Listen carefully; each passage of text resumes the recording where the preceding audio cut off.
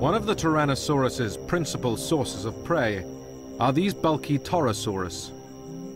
In the late Cretaceous, herds of horned herbivores like these are very common and attract many predators. It is rutting season, and to display, the males flush blood into their crests, creating vivid patterns.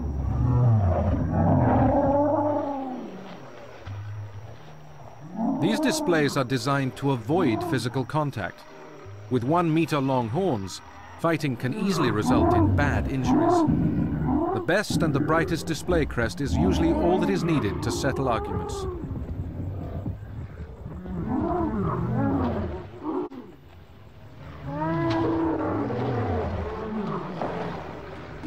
Occasionally, showing off is not enough, and males resort to brute force.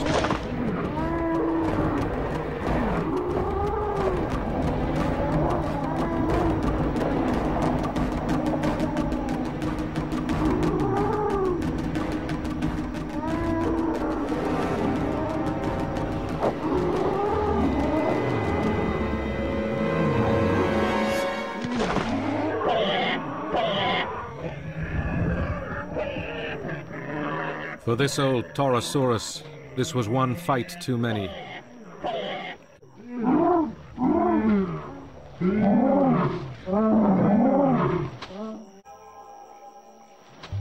Far below, the dinosaurs are oblivious. The Torosaurus herd continues to feed. Nervous of moonlight predators, younger animals seek protection among the larger adults. However, using the darkness, a pair of dromaeosaurs try to unsettle the herd.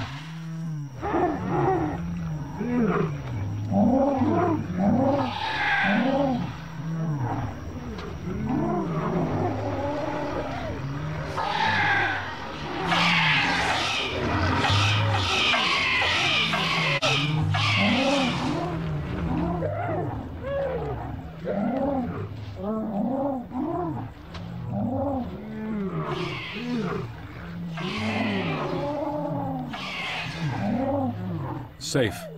But the predators have tasted blood and will not give up easily.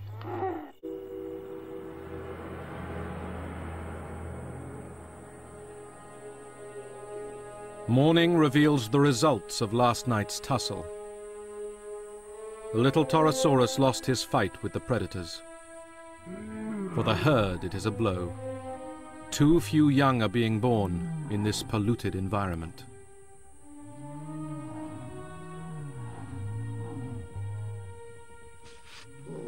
A Didelphodon is already at the carcass. These little opportunists are about the only animals that are thriving.